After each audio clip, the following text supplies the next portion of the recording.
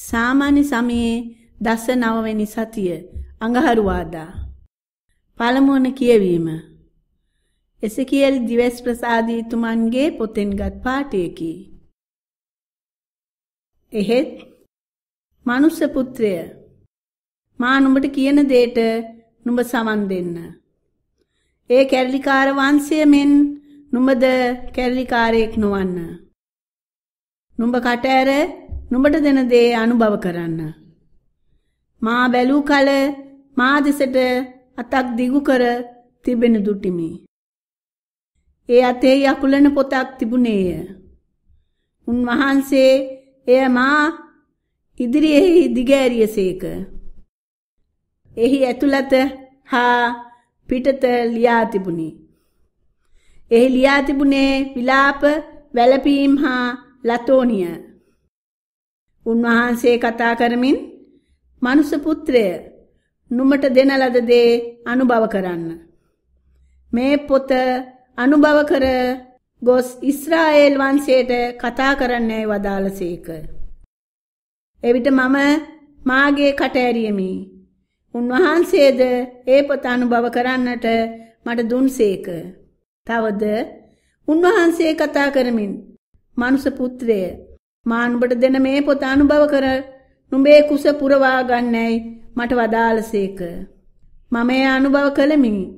එය මාගේ කටට මී පැනිමෙන් මිහිරිව තිබිනි.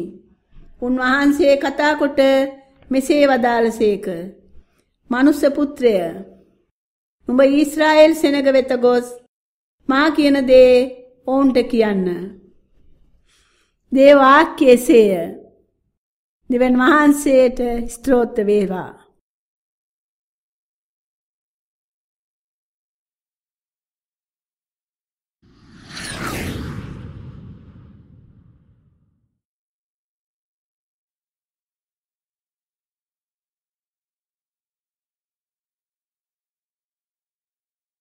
සුවිශේෂය සුවිශේෂක මතයුතුමන් විසින් ලියන ලද දේව වාක්‍ය නම් මෙසේය.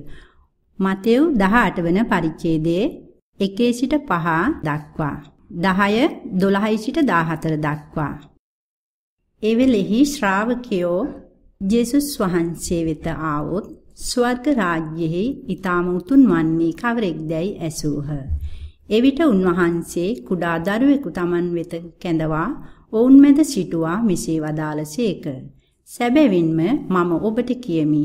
ඔබ වෙනස් වී කුඩා දරුවන් මෙන් නොවොත් කිසිසේත් ස්වර්ග රාජ්‍යයට ඇතුළු නොවන්නේය.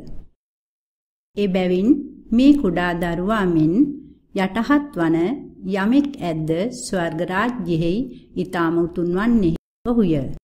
තවද යමෙක් මාගේ නාමයෙන් මෙවැනි කුඩා දරුවෙකු පිළිගන්නේද ඔහු මා පිළිගන්නේය. මේ බාලයන්ගෙන් එකෙකුවත් හෙලා නොදැකීමට වග බලා ගන්න. මන්ද ස්වර්ග රාජ්‍යෙහි ඔහුගේ දේවදූතයෝ ස්වර්ගෙහි වැඩවසන මාගේ පියාණන් වහන්සේ ඉදිරියෙහි නිරතුරු සිටිති. මම ඔබට කියමි. ඔබ කුමක් සිතන්නහුද? බැටළුවන් සියයක් ඇති යම් මිනිසෙක් උන්ගෙන් එකෙකු මුලාව ගියොත් ඉතිරි 99 දෙනා කඳු කරයේ ඉන්න හැර මුලාව ගිය එකා සොයා යන්නේ නැද්ද? සැබවින්ම මම ඔබට කියමි. ඌ සම්බ වුනොත් මුලාව නොගිය 99 දෙනා ගැන ප්‍රීතිවන්න වනවාට වඩා ඌ ගැන ප්‍රීතිවන්නේය. එසේම මේ බාලයන් එක්කෙනෙකුවත් විනාශ වීම ස්වර්ගෙහි වැඩවසන ඔබේ පියාණන් වහන්සේගේ කැමැත්ත නොවේ. සුවිශේෂක වාක්‍යයේ සේය. ක්‍රිස්තුනි ඔබට ප්‍රශංසා වේවා.